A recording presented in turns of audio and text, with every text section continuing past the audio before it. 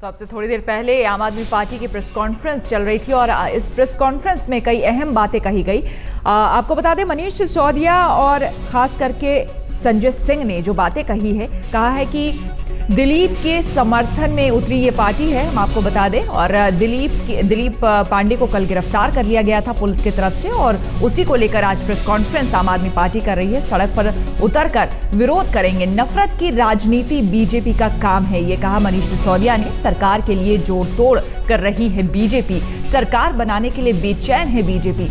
विधूड़ी बताएँ कौन है उनके साथ। तो ये बातें कही हैं संजय सिंह और मनीष सिसोदिया ने। दो अहम बातें आपको हम बता दें मुख्य तौर पर, जो इस प्रेस कॉन्फ्रेंस में कही गई। एक तो आपको बता दें,